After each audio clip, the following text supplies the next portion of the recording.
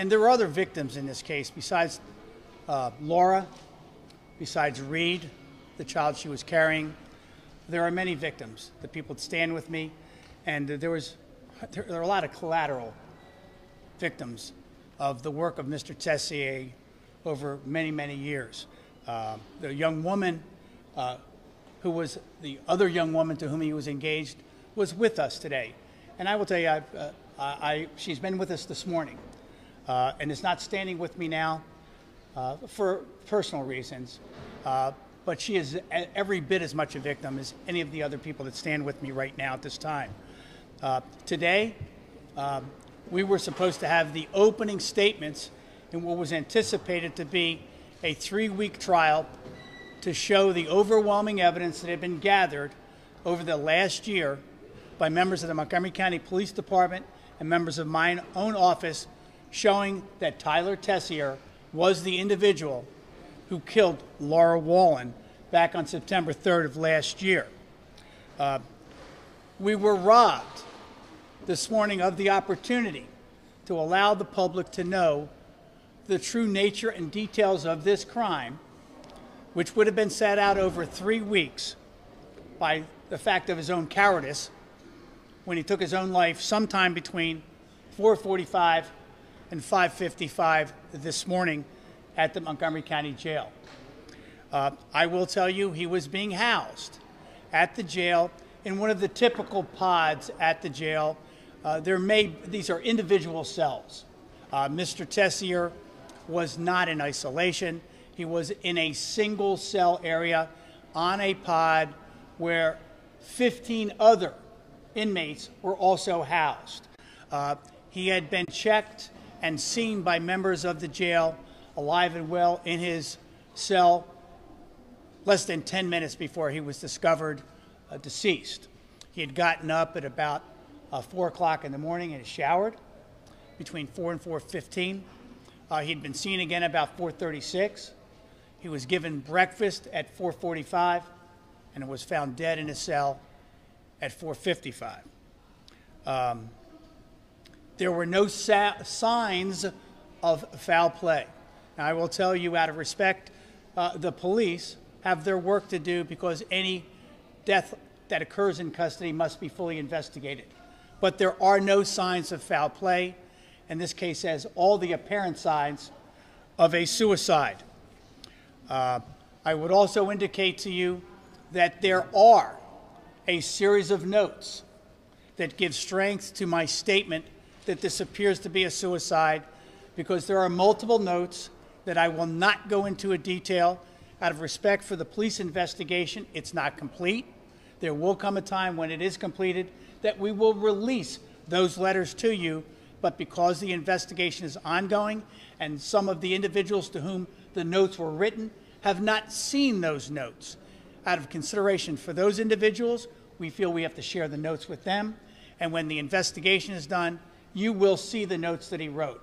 Uh, clearly, when you read the notes, you will know that he had been contemplating for some period of time taking his own life it appeared quite, we do not, they're not, the notes are not dated notes.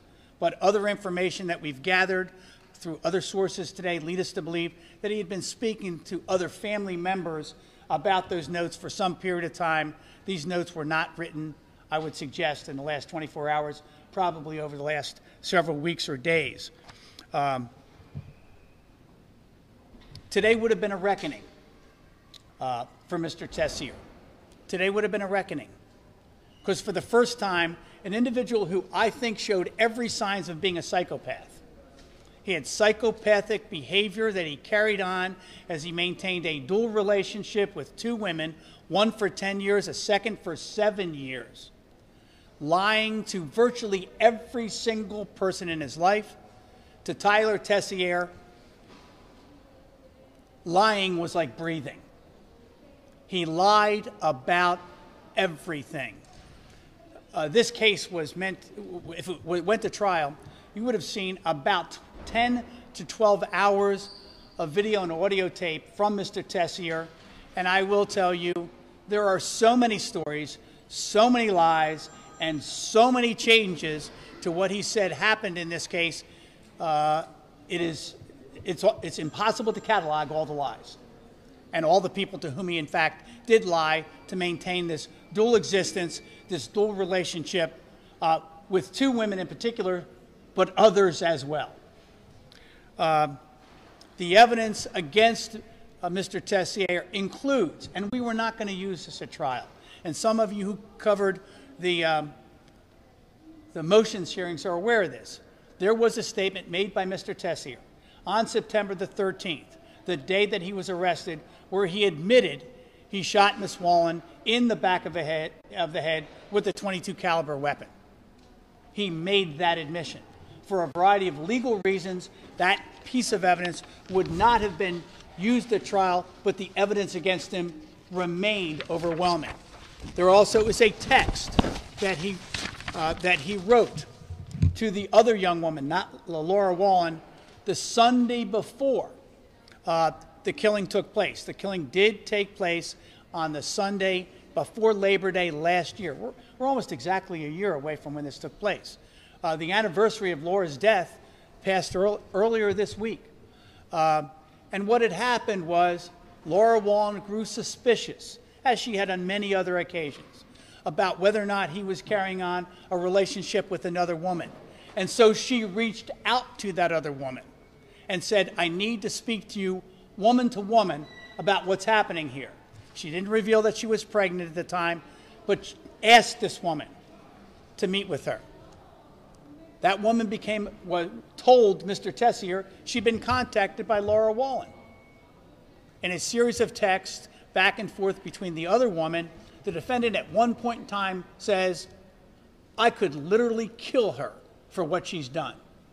That statement was a statement made in a text to the other woman approximately one week before he executed Miss Wallen in a field in Gaithersburg, adjacent to a farm where he worked regularly. Uh, I, I, you know, uh, some of you know that I asked uh, for us to do a, a site visit uh, to the location where Miss Wallen's body was found. I will tell you, it's an overwhelming experience to walk that 1.2 miles back, go up and down those hills, go down into a ravine, and see where she was buried. No one who was not familiar with that location would have selected that location for her to be killed. The irony was, the irony was, in the week after he had killed her, in the week after he had killed her, the defendant, in a separate conversation, was talking to some other individuals about a friend that they had in common who was having problems with a boyfriend.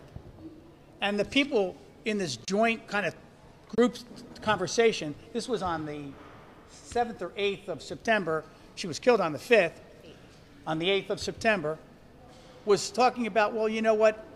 Uh, if we kill him, this guy who was abusing his girlfriend, there's lots of fields where bodies can be buried in Montgomery County.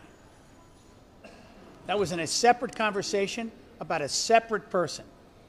Um, may I say, uh, uh, I know you probably have questions. I, I want to just, again, I oftentimes sit here and, and, tell you how extraordinary the police department is for Montgomery County. Uh, but I've been doing it about 38 years. I've listened to some interviews, uh, and I've, I've watched the way the men and women of this wonderful department work. Uh, this is among their finest hours. Uh, the, the, the interviews that were done of Mr. Tessier, and there were numerous interviews, were extraordinarily professionally done, catching him in lie after lie after lie. Uh, and it was some of the best police work and best interviewing I've ever heard in my entire career. Chief, I want to thank the men and women of your department for the wonderful work they did and acknowledge how extraordinary they were. Uh, I'd also, may I say, and, and there's so many, some of the detectives, I know Detective Janney, Detective Colbert, uh, Katie Leggett. Uh, look, I-, I could read you a list of 100 people who are responsible for why we're here today. But I also want to thank uh, Mary Herdman uh, and, and, and uh, Donna Fenton, who are the two lawyers in my office. These are extraordinarily talented women. Let me tell you, they've lived and breathed this case for a very long time. Uh, I'm telling you, I'm very proud. I, I am disappointed for them that they didn't have the opportunity as professional attorneys to, to make the full presentation so you would know the full weight of what they did to help bring justice to the Wallen family. But I'm honored by the work they've done and, and honored to work with the men and women of the police department every day. We're going to do something extraordinary here today that we've never done before. Uh, we have uh, segments of a PowerPoint that I want to outline for you. If you'll bear with us for a, a little bit, some of the evidence that we would have detailed during the course of this trial. I'll take a couple of your questions, let some of the other people talk, but we're going to come back and we're going to do a PowerPoint for, for you, trying to summarize uh, the depth and the breadth and the quality of the evidence that was gathered against Tyler, Tyler Tessier, because we think it would be a shame, robbed of the opportunity to prove his guilt in a courtroom which we would have welcomed, for you not to know the wealth of the evidence that was gathered against this man. There should be no question in no one's mind in this county that this was Laura Wallen's killer.